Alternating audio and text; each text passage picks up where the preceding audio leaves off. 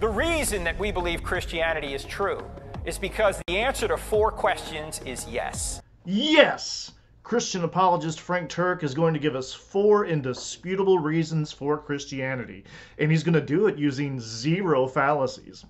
How about the first question Does truth exist? No! There is no truth. All truth is relative, and that's the truth. Obviously, you hear people say all the time, there is no truth, or you got your truth, I got my truth, all truth is relative. When somebody says there is no truth, you ought to ask that person a question. You ought to say, is that true? Shit. I always fall for that one. Is it true that there's no truth? Because if it's true that there's no truth, the claim there is no truth can't be true, but it claims to be true. In other words, it's a self defeating claim. Of course, there's truth. If there was no truth, an atheist couldn't be right that there was no God. So there is truth. I'm with you on this, Frank. Granted, we all have our own individual perspectives, our own subjective truths. There's surely a baseline reality that is true regardless of our individual perspectives. I just don't think it's yours, man. Question number two Does God exist? There are several arguments for the existence of God. Let me just give you one. Even atheists today are admitting that space, matter, and time had a beginning out of nothing. Okay, hold the phone. Some physicists like Lawrence Krauss speculate on how the universe could have emerged from nothing, but the nothing they're talking about is not the absolute nothingness of religious and philosophical musings. It's a false vacuum or quantum gravitational state something Jesus probably mentioned along with germ theory the night that Peter and John passed out from drinking all his blood, so they never wrote it down. Anyway, Krauss's theory is just one among many. We actually don't know the initial state of the universe because it's a place where relativity and quantum mechanics meet, and the two are currently irreconcilable. Even Matt Damon knows this. The equation couldn't reconcile relativity with quantum mechanics. All that our current physics tells us is that the expansion of the universe probably had a beginning, not that the universe's whole existence had a beginning. Here's an actual physicist, Dr. Don Lincoln of Fermilab, to explain it to you. Let me recap what we know for sure. We know that the visible universe was once smaller and hotter and it's expanding. We know that there was a moment when the expansion began. We know that that moment was about 13.8 billion years ago. Furthermore, it's often said that the Big Bang created space and time, and there is some truth to that. Certainly, the Big Bang expanded space and time, but remember that the theory of general relativity, along with all other known physics, doesn't apply before time equals 10 to the minus 43 seconds. So that means that statements about time not existing at time equals zero or before should be considered as suspicious. See? I'm giving you the straight dope. So if you could please stop pretending to know things that you don't, that'd be great. Now, when you think about a spaceless, timeless, immaterial, powerful, personal, intelligent cause, who do you think of? God. Personally, I think of Betty White. That's just me.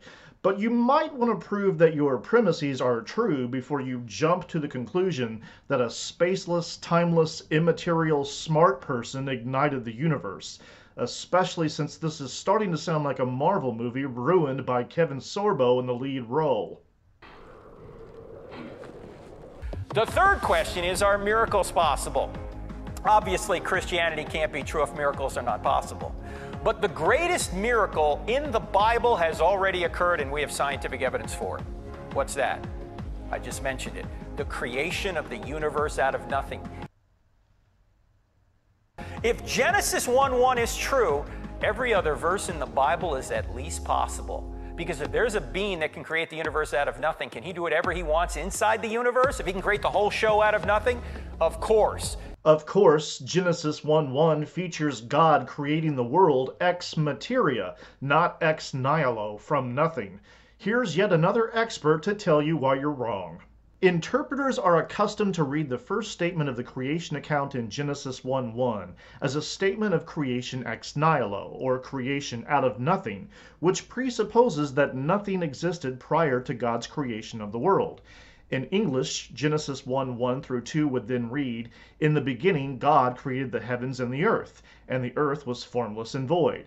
But such a statement conflicts with other depictions of creation in the Bible, such as Job 38, Psalm 74, and Isaiah 51, which indicate that God overcame a chaos monster as part of the process of creation, in which a pre existing world of chaos was brought into order.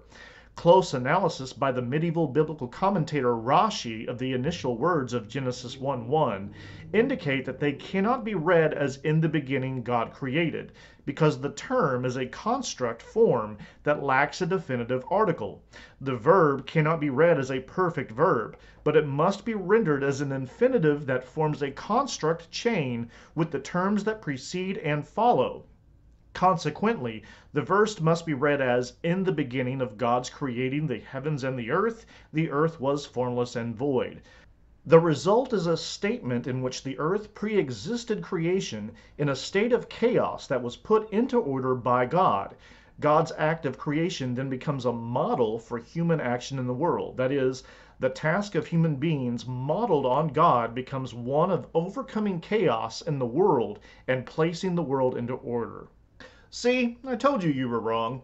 The idea of creation ex nihilo, or creation from nothing, didn't actually emerge historically until the latter half of the second century among Christian theologians.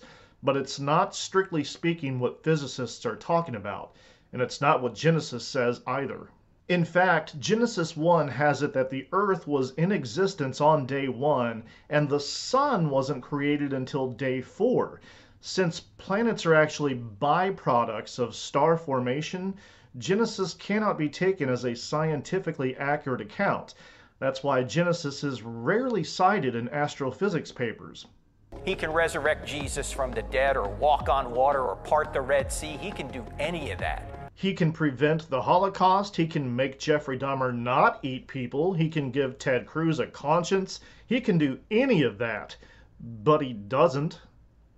So the final question, the fourth question, which gets us all the way to the Christian God, is Is the New Testament reliable enough to show us that Jesus rose from the dead?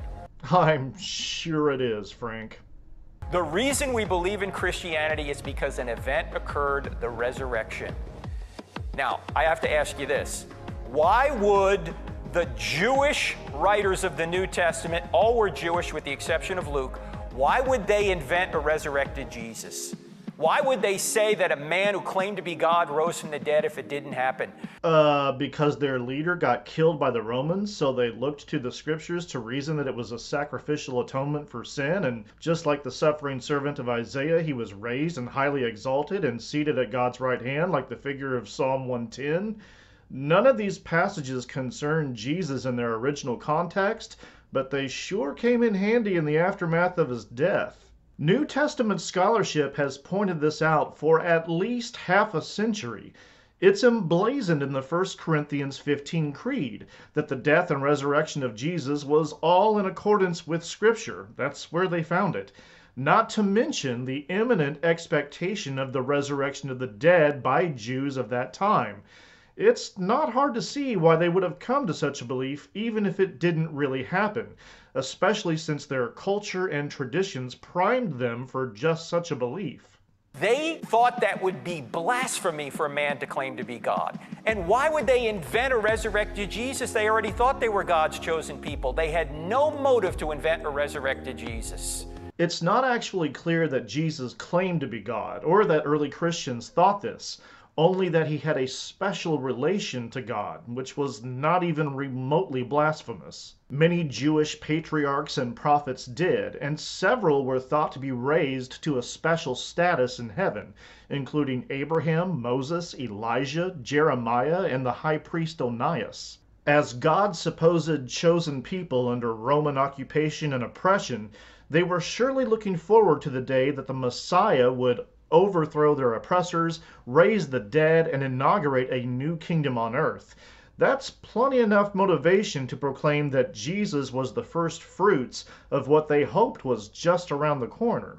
And certainly they could not have invented it in Jerusalem, where an empty tomb existed. The missing bodies of various kings, heroes, and legendary figures was a common trope in antiquity, signifying that they'd been deified and raised up to heaven, sometimes after death.